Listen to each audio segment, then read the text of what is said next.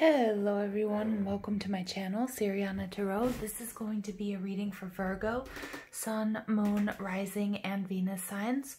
Virgo, this is going to be your Mars and Aries reading.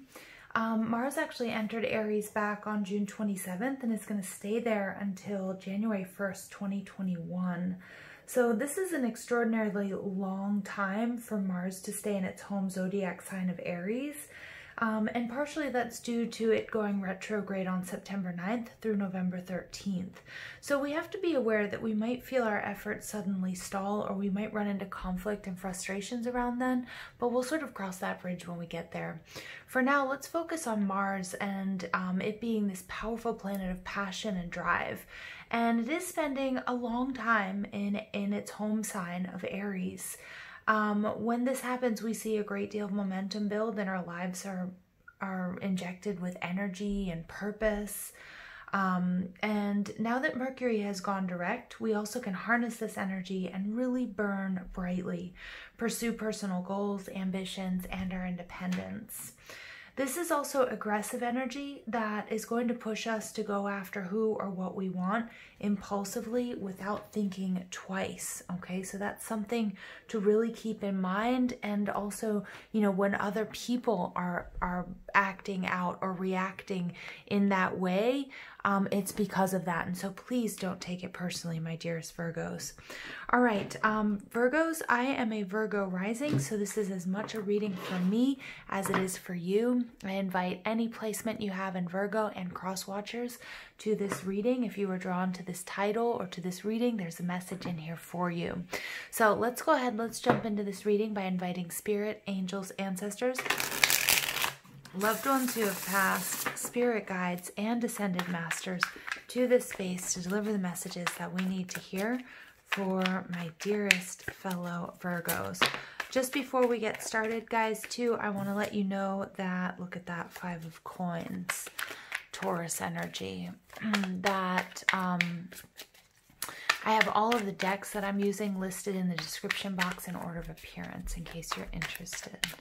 Five of Coins, Taurus energy. I feel like somebody, a lot of people have probably been asking Virgos for help.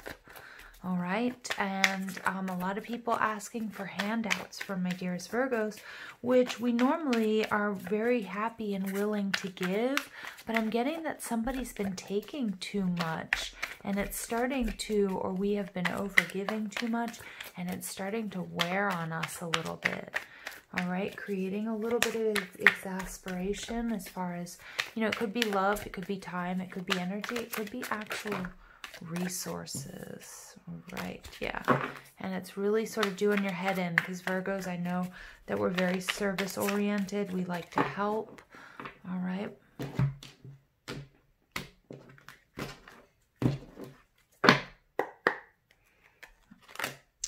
right, Seven of Swords. Yeah, look at that. Coming into this realization, wow, Virgo. Somebody from your past or somebody you care about, like family. Um, oh, yeah, Virgo, they've been taken too much. Or new boundaries need to be set here. Yeah, because Virgos, you know, we tend to be very overgiving, the sign of service. All right. And yeah, our stability is at stake, especially during these difficult times. So overall energy, you get the hanged man. This is Piscean energy. This is those of you willing to make a sacrifice. I think you probably have been willing to make a sacrifice for this person or for this relationship, for your family in the past is what I'm picking up on. Um, and now you're surrendering to a different journey. And I think this journey is much more in a very positive light, self-centered, taking care of Virgo. Um, the hanged man, this Piscean energy is also about a spiritual journey somebody who's willing to go out and see a different perspective. This full moon here really takes me back to this last full moon that we had in Capricorn um, and the downloads that we received with the, you know, the triple eclipses. Um, so a lot of crown chakra upgrades and purging and really sort of peeling back certain layers, Virgo, to see, you know, what's going on? Who are you? What do you want? What needs healing? And for some of you, it's a relationship okay? And you're realizing, hey, I set things up in a way, you know, that, um, that, you know, maybe don't work for me anymore, okay? This could be family. It could be a parent I'm picking up. It could be on, fr it could be friends. So you guys are coming out as the Seven of Swords. This is uh, the Moon in Aquarius. Seven of Swords energy is Aries, uh, sorry, is Gemini, Libra, Aquarius, or any air sign really. And it's all about something coming to light. Again, this new perspective that probably happened as a result of or around this last full moon that we had in Capricorn, that someone or something was over, was taking too much of your time, your energy, your love, your money, your resources. And it may have been something that wasn't intentional on the other party's part, or maybe it was, but Virgo, you're wisening up to it. You're thinking about this 10 of coins, um, your own stability. Maybe you have a project that you're working towards and you realize maybe you partnered with somebody that wasn't in it to win it like you were. In, the, in your surroundings, you have the Six of Cups, Cancer, Scorpio, Pisces energy. This is releasing the past. So again, this could be somebody that you trusted. It could be soulmate energy. It doesn't all have to be material. Um, it could also be um, it also could be, um, you know, a friend or somebody that you consider family that you're realizing, hey, this doesn't work for me. If I want to achieve my goals, if I want to get to my abundance, my happiness, there's something here that I need to let go. Now, what's holding you back is this Nine of Swords. I feel like this is a lot of manipulation. I'm picking up on emotional manipulation, gaslighting, a lot of words. They might have been telling you a lot of lies, and they might have also been sabotaging you. Now, I don't want to get, you know, you paranoid because a lot of a, a big part of me is really picking up on that this wasn't intentional but they were you know the way that they were going about business with you okay or if this was a love relationship they were really you know they were starting to make you feel bad which was anchoring you in the same negative energy or the same lower vibe vibration that they were and it was really starting to do your head in so it's going to have to take you know this is something that coming to this realization that this no longer works for you this no, no longer matches your energy. You may have gone through a little bit of a dark night of the soul, really a lot of soul searching, a lot of ups and downs because I do get that this was somebody or this is somebody very close to you or somebody that you're very emotionally invested in as well. I'm really picking up on that it's money and love combo here. Look at that, Virgo. You are top and bottom. I didn't even see this. You have the 10 of cups. This is your happiness. This is the shift in perspective. You're starting to see what is going to make you happy. So this is what's subconsciously affecting the situation, Cancer, Scorpio, Pisces energy. And this is all about, you know, your happiness. You've been taking care of so many others or this person for so long, Virgo, that now look at this Spirit is coming in strong. Ten of coins and the Ten of cups. Your happiness, your abundance, love, health, money, you know, uh, spirituality, rest, all of that is taking precedence as it should, Virgo. And this is a huge blessing. This is the ending and the rebirth Okay, so the ending of a cycle that no longer serves you. Look at this in your recent past. You have Judgment Day. This is this fire energy. This can be Pluto as well. So it could be Scorpio and you're flanked by Scorpio energy. So some of you might have, um, you might have Scorpio heavy in your chart. You might be dealing with a Scorpio. Um, and, and with that scorpionic energy, I'm getting that this could also be a very sort of sexual, intimate relationship for some of you as well that might have been, you know, crossing some of those cables that might have been confusing you. The judgment card here is you've made a final judgment. It's time for you to move forward and it's like with or without this person or this situation. Could be leaving a job as well or could be a family member. Um, but, you know, the time is now. You're ready to move forward. You're ready to think about your happiness, your abundance abundance, Virgo, and you're no longer willing to accept someone or something that takes from you, okay, that isn't an equal exchange. And there you go, you get the scorpionic energy, major rebirth for you. Realizing that going through this sort of mini dark night of the soul is what I'm picking up on, and really going over this situation that's been very difficult for you. Because it's very hard, I know, Virgos, for us to sort of put ourselves first. Um, yeah, wow lovely energy. I, really, I like it though, and it hasn't been easy, but there's the light at the end of the tunnel, Virgo, and this is a major win for you. Major, major win All right. And this is, you know, and a lot of it is focusing on the more spiritual aspect of your journey.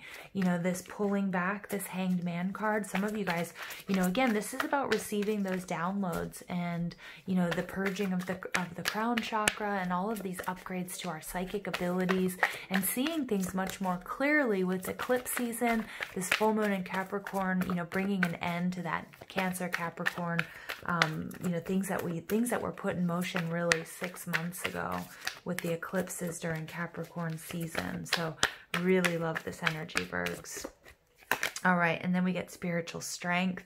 Love it. This is the Nine of Wands. This is that wounded warrior. This is you pushing through. Yeah, this has been hard for you.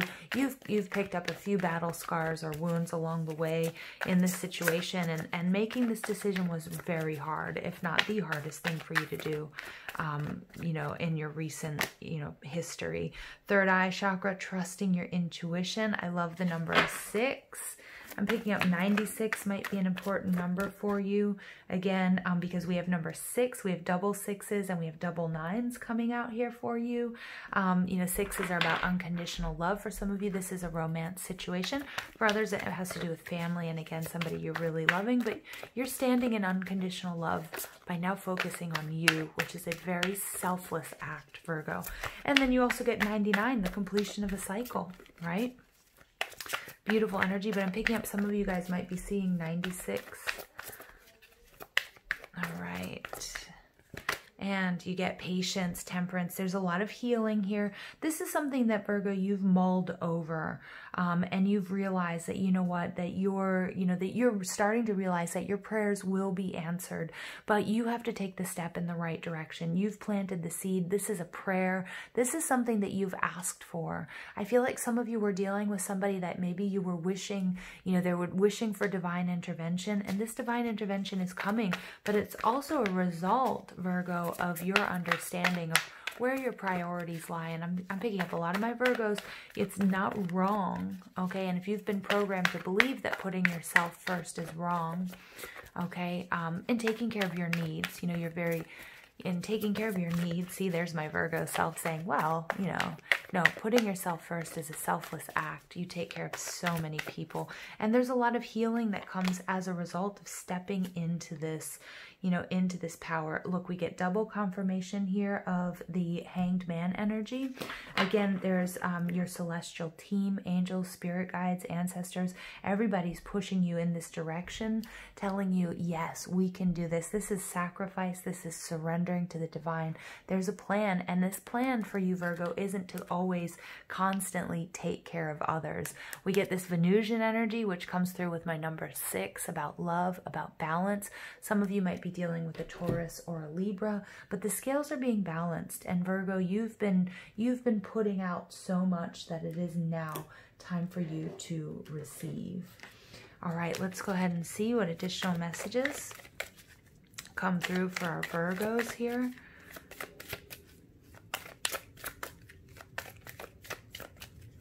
I'm using the Barbieri Zodiac Oracle.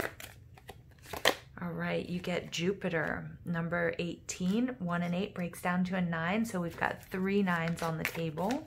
Lovely completion of a cycle, Virgo. Something's coming to an end. And this, I'm really picking up this hanged man energy being that realization. I love the, I love the image of the rainbow because that also evokes, um, you know, a close tie with this patience card, which is um, based on the archetype of Iris, a messenger to the gods. Again, your prayers are being answered, Virgo. All right, and then you get Scorpio. Look at that. And I told you you are flanked by Scorpio energy, Six of Cups as well. So you've got three cards of Scorpio, and you've also got the Sun card burning brightly there. So let's take a look at Jupiter, number 18. Um, you might want to see how this is affecting your individual chart. Jupiter, I believe, right now is retrograde, but you can check me on that. Um, Jupiter is associated with the Roman god Jupiter, ruled, ruler of heaven and earth. Again, I really pick up on that heaven and earth. Look at that with the patience card and with the sacrifice card here. She's in the earth. She's coming out of the water. Her prayers are being answered. okay? Um, thought of as fair and just protector. Jupiter is often thought of as the planet of luck and expansion. The desire to understand the bigger picture, to prosper, and to experience joy are a big part of Jupiter's influence. Optimism, faith, and spirituality play roles in these issues. Yeah, and we definitely see that spirituality coming through. Some of you guys are getting a new lease on life, whether this is through a relationship, um, through a job, through maybe some of you guys are receiving a chunk of money. And, you know, it's saying, you know, you do what you need to do. All right, you deserve to enjoy life, you deserve to prosper. And there was someone or something that was really holding you back. Now, all this Scorpio energy coming through, I'm really picking up on this being a very sexually charged relationship for those of you that um, that feel that this is um, that this is resonating with you as a as a love relationship. So Scorpio is a, a fixed water sign, and it's all about I create. So the mysterious energy of water takes on the fixed quality of, in, of intensity to suggest a determined quest to unearth the truth. And do we not see that with that Seven of Swords energy? That's you, you guys, and also the, all the spiritual work. You're really seeing things the way they should be, okay? Taking off those rose-colored glasses, also cutting through any deception that might be might have been present in this situation. Um, the energy of Scorpio is alluring and powerful and can be dangerous when pursued for its own sake rather than as a means to a healthy and balanced end. Avoid using your powers for evil, right? But I'm not picking up on that. I'm really sort of picking up on more of that intimate, more of that rebirth, that cyclical energy coming through here. Ending a cycle, beginning a new one, death and rebirth for my Virgos.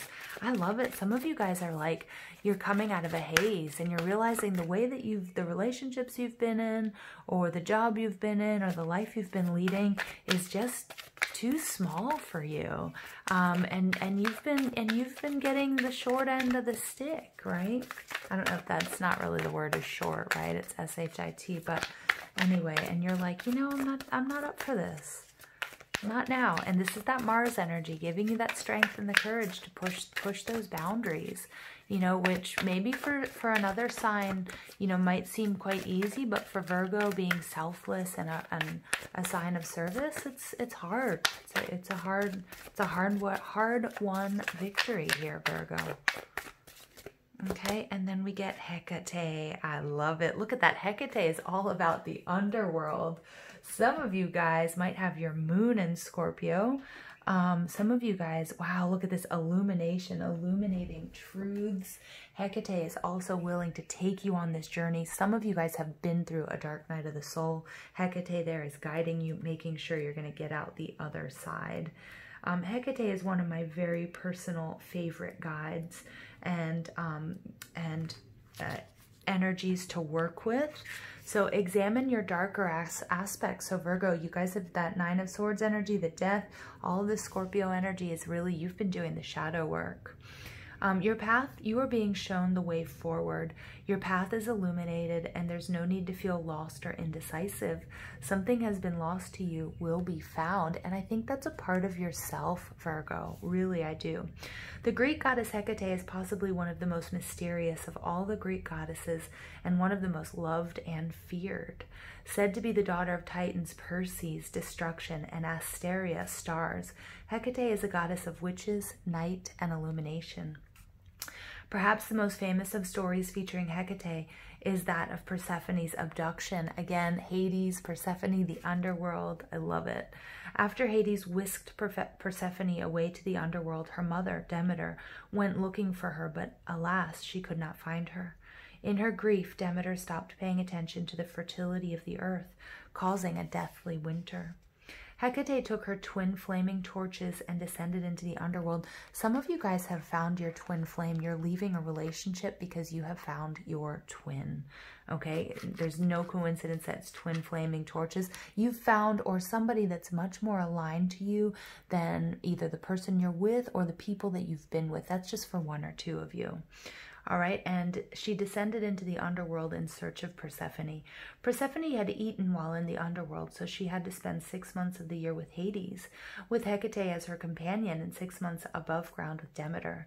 Hecate and her torchlight guided Persephone in her underworld travels.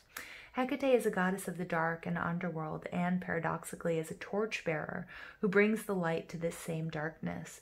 Illuminating the darkest pathways, this magnetic goddess in- invites you to travel the shadows with her, but only under her wise guidance. Hecate is often depicted standing at the crossroads with the three headed dog, past, present, future. So she is the ideal goddess to call upon if you feel lost. You don't know which direction to turn, or you are working to improve yourself. An increasing number of modern people honor Hecate, and those who wish to learn more about the witchcraft tradition should ask her for assistance in their learning. Yes, Virgo, powerful messages. I love you so much.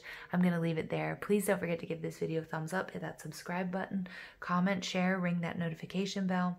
But most of all, I want to thank you for all your love and support, and I hope you have an absolutely beautiful day. Take care.